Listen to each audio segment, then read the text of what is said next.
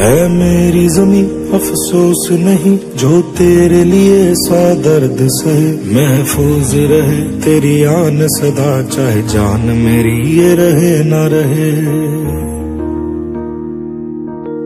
मेरी जमी महबूब, मेरी मेरी नस नस में तेरा इश्क बहे। फीका ना पड़े कभी रंग, तेरा जिस्मों से निकल के खून कहे।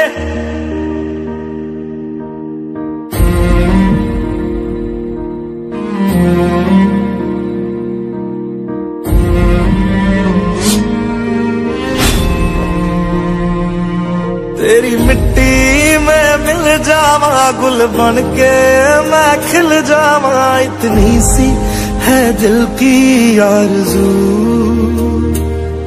तेरी नदियों में बह जावा, तेरे खेतों में लहरावा। इतनी सी है दिल की आरज़ू।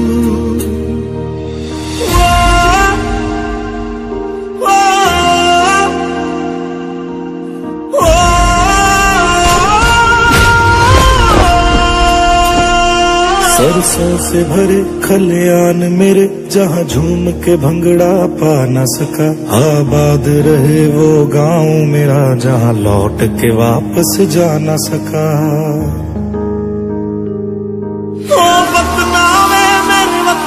में तेरा मेरा प्यार निराला था। हुआ तेरी असमत पे, मैं कितना नसीबों वाला था।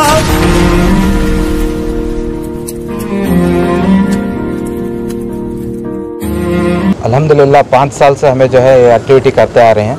अभी दो साल से जो है ये कोविड का जो सिलसिला चल रहा है, उसमें जो है हमें लोग खाना बना के देने में और रेशन किट सप्लाई करने और जो यूथ का किट और जो है एंबुलेंस की सर्विस भी अभी शुरू करके हैं इस साल से।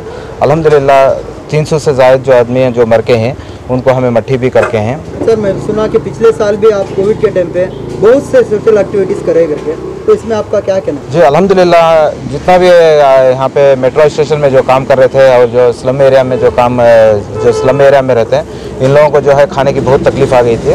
तो वहाँ पे जो है हम लोग खाना बना के सप्लाई करके हैं। कोई भी होटल खुले नहीं थे तो इस टाइम पे लेने वाला कोई भी देने वाला उनको खाना पानी पूछने के वास्ते कोई नहीं था। ऐसे टेंपो हमें रोज डेढ़ सौ आदमी का खाना बना को पैकेज कर को रातें रात हमें क्या करते थे सेफ्टी के साथ हमें भेजते थे।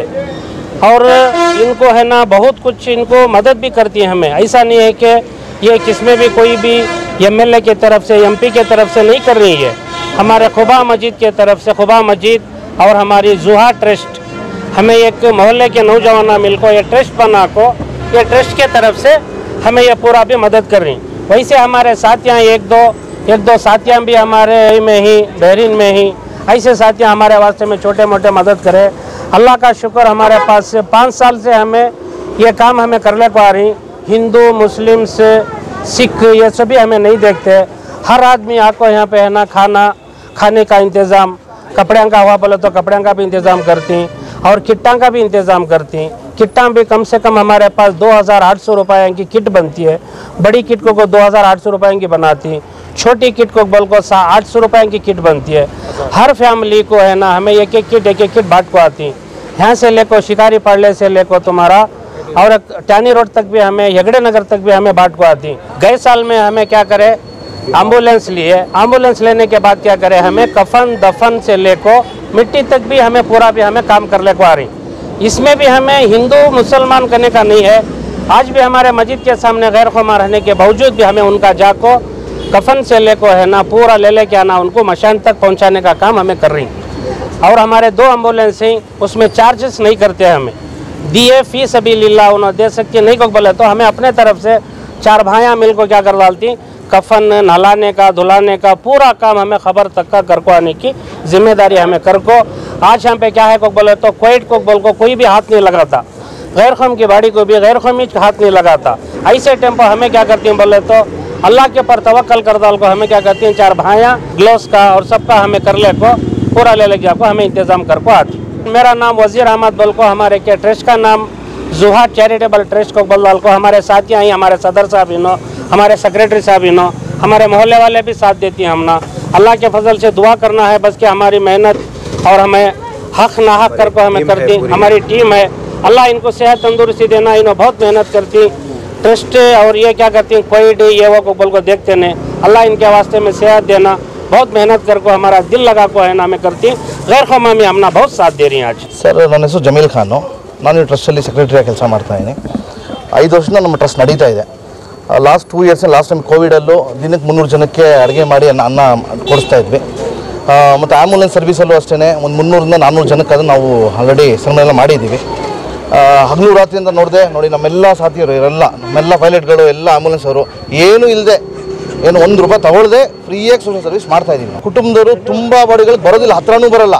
ಯಾಕಂದರೆ ವೈರಸ್ ಇದೆ ಅಂತ ಭಯಪಟ್ಟು ತುಂಬ ಜನ ಬರಲ್ಲ ಸರ್ ಎಲ್ಲ ನಾವೇ ಹೋಗಿ ಅವ್ರಿಗೆ ಏನು ಮಾಡಬೇಕು ಎಲ್ಲ ಮಾಡ್ತೀವಿ ಸರ್ ಅವರು ಯಾವುದೇ ಜಾತಿಯವರಾಗಲಿ ಅದನ್ನು ನೋಡಲ್ಲ, ಅವ್ರಿಗೆ ಏನು ಮಾಡಬೇಕು ಅಂತಿಮ ಮಾಡಿಕೊಡ್ತಾ ಇದ್ದೀವಿ ಖಂಡಿತ ಇಲ್ಲ, ಯಾವುದೇ ಸೋಷಿಯಲ್ ಸರ್ವಿಸ್ ಮಾಡ್ತಾ ಇರೋದು ನಾವು ಜಾತಿ ಅಂತ ನೋಡ್ತಾ ಇಲ್ಲ. ಯಾರೇ ಬರಲಿ ನಾವು ಯಾವ ಜಾತಿ ಅಂತ ಕೇಳಲ್ಲ ನಮ್ಮ ಸೇವೆ ಮಾಡ್ಬೇಕು, ಮಾಡ್ತಾ ಇದೀವಿ ಸರ್. ನಮ್ಮ ಇಸ್ಲಾಂ ಧರ್ಮದಲ್ಲಿ ಫಸ್ಟ್ ಫಸ್ಟು ಮನುಷ್ಯತ್ವ. ಆಮೇಲೆ ಜಾತಿ. ನಾವು ಜಾತಿ ಅನ್ನೋದು ತಗೋಬಾರ್ದು. ಯಾರು ಯಾರು ಏನು ಮಾತಾಡ್ತಾರೆ ಅದು ಬೇರೆ ವಿಷಯ ಬಟ್ ನಾವೊಂದು ಮನ್ಸಾರೆ ದೇವ್ರ ಮೆಚ್ಚಕ್ಕೆ ಮಾಡ್ತಾ ಇದೀವಿ.